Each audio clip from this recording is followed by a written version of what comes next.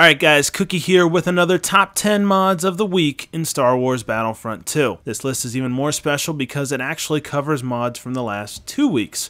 Because of the latest patch, I wasn't able to do my regular weekly video, but now that all programs have been updated with the latest patch, we are good to go once again. And now we have even more mods to choose from. Before we get started, I wanted to direct you guys to our online Teespring store where you can get some Swany Plays games, merchandise, and support the channel. There are t-shirts, hoodies, mugs, all kinds of stuff for our fans, so please do us a favor and check it out. So without further ado, let's get to the mods. Number 10 is Generator Room Tutorial Replace by the Blue Jedi. Thanks to the latest patch, everyone now has access to all the maps in arcade mode that aren't in Starfighter Assault.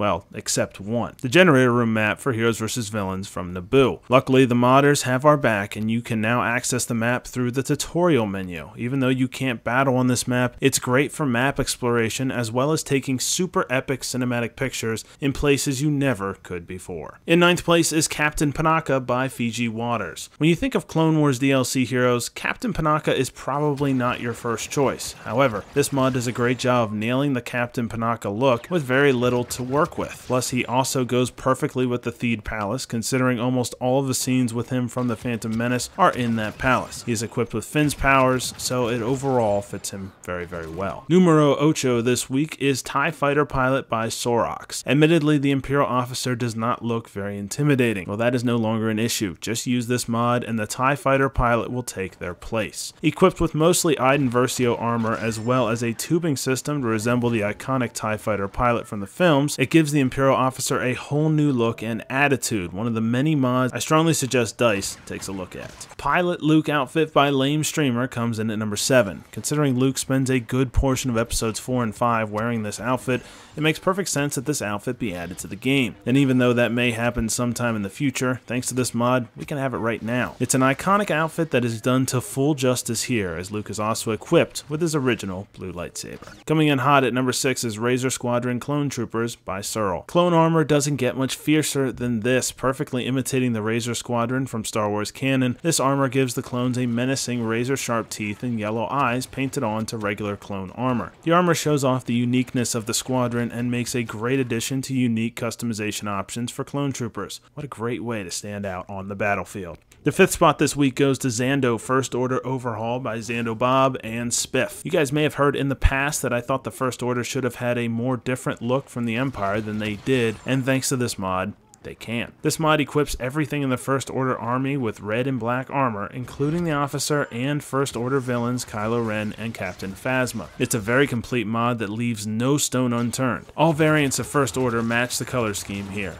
The First Order just got that much cooler. And at number 4 is the 456th Dementium Squad by Searle. Everything about this mod just screams awesome. The armor is so unique with orange and black tones adorning most of the back of the armor, while scratches across the helmet indicate the fierceness and hardships that come with it. Not to mention the name Dementium Squad is also pretty badass. This is one of the best clone armor mods I have seen because it's so different from regular armor while not seeming chaotic or out of control. Getting the bronze medal in third third place is Admiral Ackbar by Fruit by the Fett. This is the second time an Ackbar mod has made a top 10 mods list, but this time it's even better. This Ackbar looks even more accurate than the first, with the Admiral's uniform looking more textured and realistic. Ackbar also now comes with a custom portrait, unique abilities, and a unique gun. Also the fact that Ackbar now has a disabler ability so he can have, you know, a trap?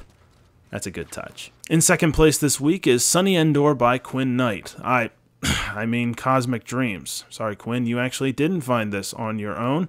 Cosmic Dreams did. This is that modder's latest data file find, an alternative to the Night Endor map that we've all played so far. This mod gives us a look at an unreleased version that shows us an Endor we're all much more used to, and at least in my case, kind of miss. The question is whether or not they will release this map in the future, or if this mod will be the only way to access it. Only time will tell. In the meantime, enjoy the map because it really does feel like you're getting a whole new experience on Endor than you did before. Okay guys, here's some other great mods that didn't quite make the list.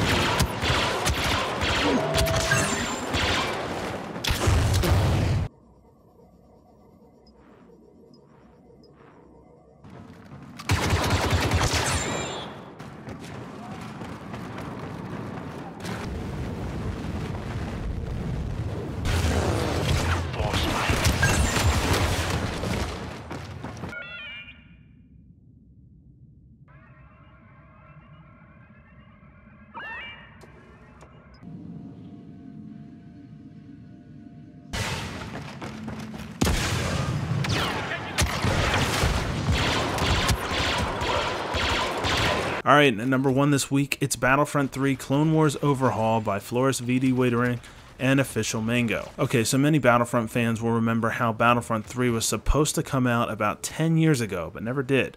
The canceled game left some of those files behind, and thanks to the modders, those pieces have been put together and are now available in EA's Battlefront 2. There are Tri-Fighters, Jedi Interceptors, new droids, 501st clone design, two custom heroes, X1 and X2, as well as custom star cards. A huge amount of detail went into this mod, and it shows. For the work alone, this mod deserves first, but most of all, this mod shows us a little bit of the game we never got. So for that, it has earned the number one spot. So what did you guys think? Good list or did I fail miserably? If you liked it, comment DLC not confirmed and also comment what mods you like. Also links to all these mods are in the description, so check them out.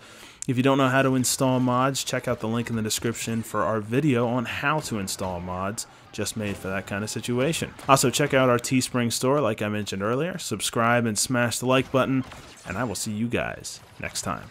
Bye-bye. Will you join me?